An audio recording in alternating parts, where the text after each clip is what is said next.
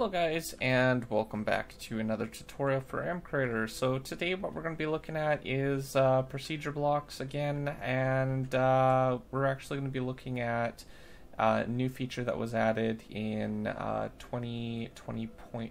Uh, so this basically allows you to detect uh, from pretty much most places uh, the radius of a player now, it's a little bit buggy. As you can see, the radius of where uh, everything is the is where the obsidian is. So it's not exactly centered. Uh, I'm sure they'll try to fix this in the future. Uh, from what I was reading uh, with uh, the developer it was vanilla settings so it might need some tweaking. It'll probably be fixed in the future.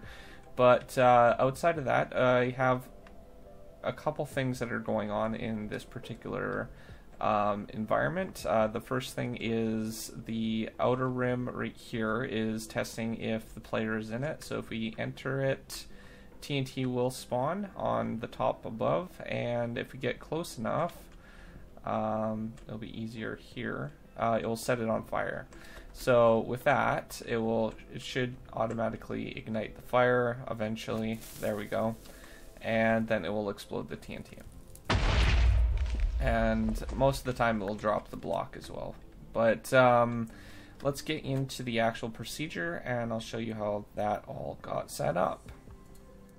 So one procedure, it was on a block update tick and uh, what I've basically done here is use the new uh, does entity exist at and then in square cube and then this should be um, size with size and then the size of whatever um, area which it is. So 5 seems to be right next to the block for some reason uh, like I said some of this might need to be tweaked a little bit mostly with this little setting right here but then it, we're also testing for the type of entity so you can basically test uh, for the player or multiplayer, which I have uh, done on both of these.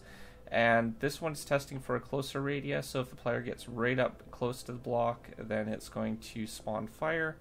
Uh, two blocks above and down here it's just uh, doing the exact same thing but uh, spawning TNT if the player's in a 10 block radius.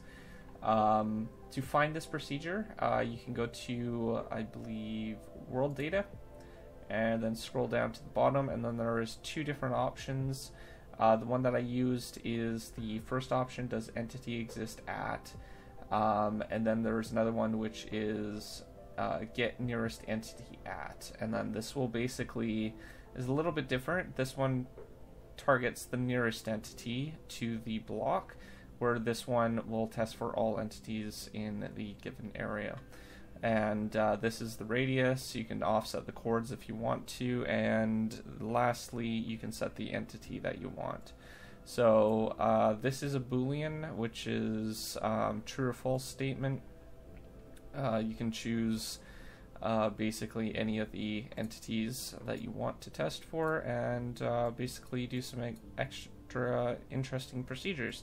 So that's the only example that I have for you today. If you are new to my channel, don't forget to subscribe, comment down below, rate the video, and I'll see you guys next time. Thanks for watching. Peace out.